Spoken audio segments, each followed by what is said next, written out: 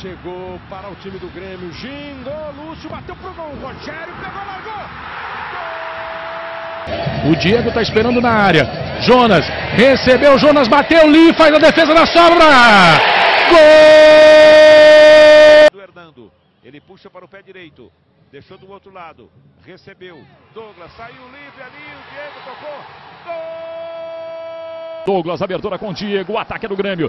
Diego Clementino chamou para o pé esquerdo. Olha o Diego, a rede! Gol! Jonas, bolão pro Diego. Condição de fazer o terceiro, encarou o goleiro, bateu!